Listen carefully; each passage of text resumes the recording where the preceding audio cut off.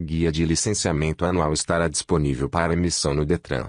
A partir do dia 1 de janeiro, os proprietários de veículos poderão pagar a Guia de Recolhimento de Taxas, GRT, do Detran RJ, que será liberada no site do Banco Bradesco. A GRT reúne as taxas de licenciamento anual e de emissão do Certificado de Registro e Licenciamento de Veículo, CRLV, a soma dos valores chega a R$ 210,48, sendo R$ 150,34 referentes ao licenciamento e R$ 60,14 relativos ao documento veicular.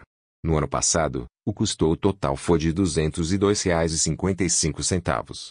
Os valores das taxas estaduais tiveram um aumento de 3,9%, seguindo o reajuste aplicado na base de cálculo da Unidade Fiscal de Referência do Estado do Rio o FIR-RJ, que a partir de 1 de janeiro será de R$ 3,5550.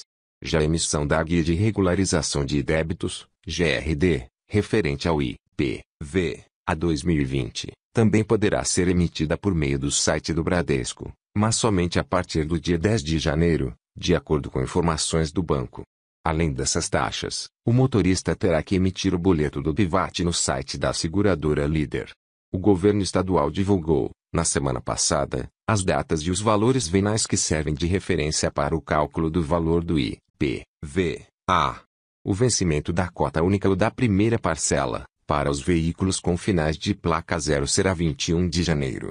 Os motoristas cujos veículos têm finais de placa 9 terão até 3 de fevereiro para pagar a primeira cota. Os contribuintes terão 3% de desconto para o pagamento integral à vista. O governo informou que o imposto de 2020 será, em média, 3,26% menor na comparação com 2019. No caso dos automóveis, a redução média será de 3,6%. Para motos, o tributo cairá 2,06%, em média. O pagamento da taxa de licenciamento de veículos no Rio foi parar na Justiça em 2019. Uma decisão liminar obtida pelo Ministério Público do Rio, MPRJ, chegou a suspender a cobrança da taxa de licenciamento e da taxa de emissão CRLV, somadas na GRT, sob a alegação de que a vistoria deixou-se ser obrigatória no Estado. Em fevereiro, o presidente do Tribunal de Justiça do Rio, TJRJ, desembargador Cláudio de Melo Tavares, decidiu que os motoristas devem pagar as duas taxas.